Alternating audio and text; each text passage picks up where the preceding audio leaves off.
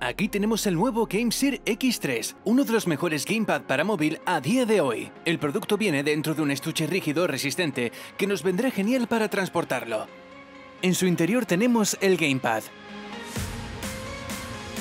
un cable de alimentación USB-C y una cajita con varios switches que nos permitirá personalizar el mando y unas almohadillas para los joysticks. Esta cajita contiene también una pegatina y la documentación del producto. El diseño de la parte frontal del mando es parecido al GameSir X2, con un diseño un poco más redondeado en el X3 y misma distribución de botones y joysticks.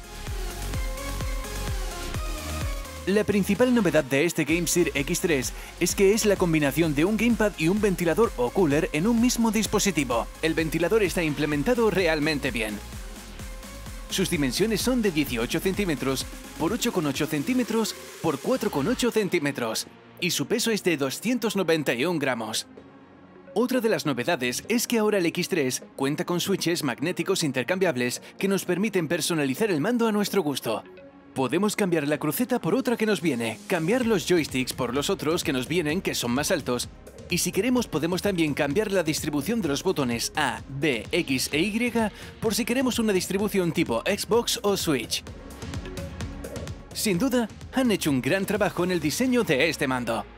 El teléfono se conecta directamente por el USB-C del mando. Este tiene un rango de inclinación de 51 grados para facilitarnos la conexión con el teléfono. Su rango de extensión es muy amplio. Podemos acoplar un teléfono de hasta 17,9 centímetros de longitud, por lo que es compatible con prácticamente cualquier teléfono actual con conexión USB-C podemos desplazar un poco el ventilador en el caso de que el teléfono tenga alguna protuberancia que esté obstaculizando.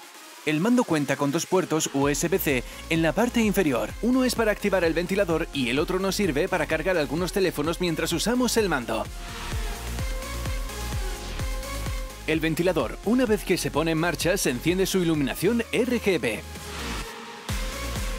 Este GameSir X3 es compatible con una gran cantidad de juegos Android de forma nativa y en el caso de que no lo sea, podemos remapear los controles del juego con la aplicación GameSir.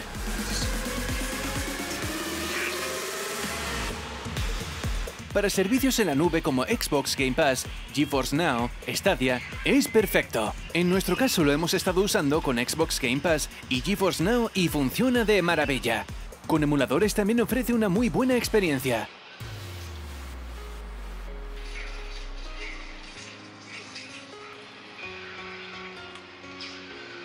En las pruebas que hemos hecho al ventilador hemos podido comprobar que hace muy bien su trabajo. Sin el ventilador activado y jugando durante 15 minutos al Real Racing 3, la temperatura de la CPU rondaba entre los 43 a 48 grados y la batería 40 grados. Con el ventilador activado y jugando durante 15 minutos al mismo juego, la temperatura de la CPU era de unos 7, 8 o 9 grados menos mientras que la batería marcaba 10 grados menos, lo que está realmente bien. Lo que no nos ha gustado tanto es que los gatillos traseros siguen siendo mecánicos de tipo click y no son gatillos con recorrido como por ejemplo los del Razer Kishi. No obstante, es uno de los mejores gamepad para Android, de eso no cabe duda. Han hecho muy buen trabajo en la implementación del ventilador y los switches intercambiables, aunque no lo vemos imprescindibles, sí que se agradecen a nivel de personalización. Respecto a su precio, no es precisamente económico, ya que ronda los 100 euros o dólares.